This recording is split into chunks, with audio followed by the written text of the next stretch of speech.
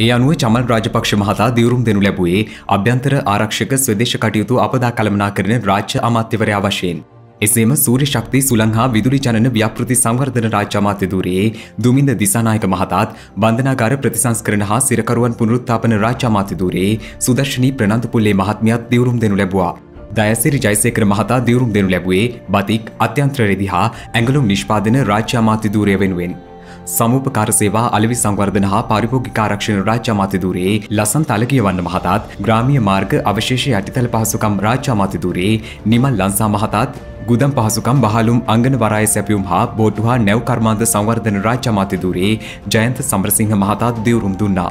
මේ අතර ඉඩම් කළමනා කරන කටයුතු රාජ්‍ය ව්‍යාපාර ඉඩම් හා දේපල සංවර්ධන අමාත්‍යධූරයේ දිවුරුම් දෙනු ලැබුවේ රොෂාන් රණසිංහ මහතායි. සමාගම් වතු ප්‍රතිසංස්කරන තේවතු ආශ්‍රිත භෝගවගා තේ කර්මාන්ත ශාලා නවීකරණ හා තේ අපනයන ප්‍රවර්ධන රාජ්‍ය අමාත්‍යවරයා වශයෙන් කනක හේරත් මහතාත් ජාතිකුරුම ප්‍රසංග කලා හා ග්‍රාමීය කලාශිල්පී ප්‍රවර්ධන කටයුතු රාජ්‍ය අමාත්‍යවරයා ලෙස විදුර වික්‍රමනායක මහතා දිවුරුම් දෙනු ලැබුවා.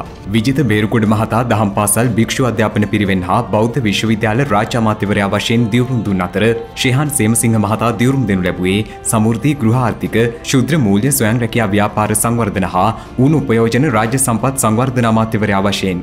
පොහොර නිෂ්පාදන හා සැපියුම් රසායනික පෝර හා කෘමිනාශක භාවිත නියාමන රාජ්‍ය අමාත්‍යවරයා වශයෙන් මොහන්ද සිල්වා මහතාත් මැනිකා ස්වර්ණාභරණ ආශ්‍රිත කර්මාන්ත රාජ්‍ය අමාත්‍යවරයා ලෙස ලොහන් රත්වත්ත මහතාත් වාහන නියාමනය බස්රථ ප්‍රවාහන සේවා හා දුම්රිය මැදිරි හා මෝටර් රථ කර්මාන්ත රාජ්‍ය අමාත්‍යවරයා ලෙස දිලුම් අමුණුකම මහතාත් දිවුරුම් දීම සිදුනා.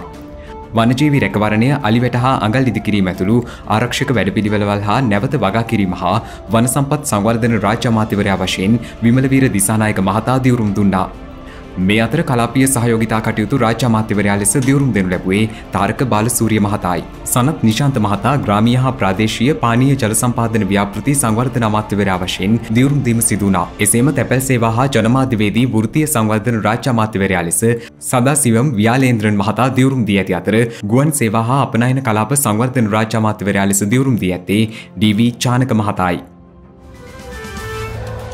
මෙවැනි වැදගත්පුවත් නැරඹීම සඳහා ශ්‍රද්ධා TV නිවස් YouTube චැනලය සබස්ක්‍රයිබ් කර සීනුව සලකුණ වන්න.